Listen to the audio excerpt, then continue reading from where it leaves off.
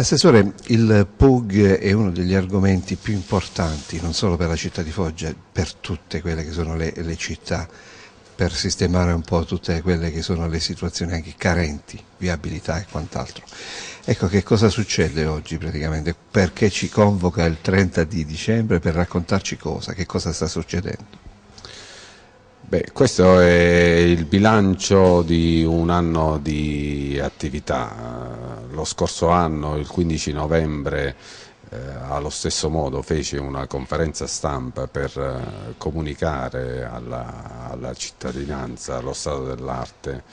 eh, sul procedimento della redazione del nuovo piano urbanistico generale e emersero anche una serie di forti criticità che io denunciai, eh, paventando anche la possibilità di mie dimissioni in questo senso, perché avevo rilevato una serie, così come dicevo prima, di criticità che attenevano tutto il sistema non solo comunale ma di rapporti eh, anche tra istituzioni. Oggi a un anno di distanza eh, ci sono una serie di risultati che con eh, molta fatica e impegno abbiamo raggiunto che ci consegnano la possibilità di cominciare a pensare eh, fattivamente in chiave di piano urbanistico generale. Tutto questo però eh, non significa che il piano urbanistico generale è pronto, significa che bisogna attivare quei processi che nella,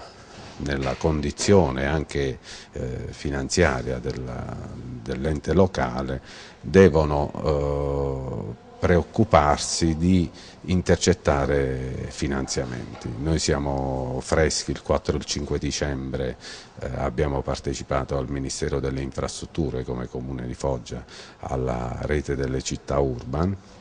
Foggia è stata inserita nella segreteria tecnica delle reti della città urban e un osservatorio privilegiato soprattutto per la nuova programmazione dei fondi comunitari 2014-2020 che saranno sostanzialmente destinati alle città. Quindi le città devono dotarsi di un piano di sviluppo locale che chiaramente non è soltanto in chiave urbanistica, ma che necessariamente investe anche tutti gli altri settori, dai servizi alla mobilità, soprattutto la mobilità e il commercio, cioè tutte quelle attività che poi devono sostanziare uno sviluppo sostenibile della, della città e quindi del territorio. Diciamo che allora abbiamo fatto un bel passo avanti in un anno, solo che adesso bisogna mettere a frutto quello che è stato il lavoro e quindi eh, coordinare poi le eh, vere esigenze per mettere a punto il PUC. infatti non va letto soltanto come mero discorso urbanistico, eh, vorrei che l'attenzione fosse puntata non soltanto sull'aspetto edilizio puro e semplice, ma di tutte quelle attività che vanno dai, eh, dalle politiche di coesione sociale, come dicevo prima, alla mobilità, al commercio, agli esercizi di vicinato, cioè tutto quello che può rappresentare nuova linfa vitale per la crescita della, della città e del territorio. Ovviamente i presupposti presupposti ci sono, come rispondono gli altri? Beh, noi rivendichiamo forte il ruolo di un impegno eh, incessante che è andato avanti in questi due anni, occupandoci anche di questioni eh, che non erano eh, strettamente legate alla urbanistica o alla pianificazione in senso stretto. Eh, mettiamo sul tavolo una serie di eh, condizioni favorevoli per, ripeto, intercettare finanziamenti comunitari che è l'unica possibilità di crescita per il nostro territorio. Senza una battuta politica, vuol dire che se questa amministrazione riesce a realizzare il PUG o quantomeno le basi, vuol dire che poi si può presentare alla città anche con un piano politico interessante.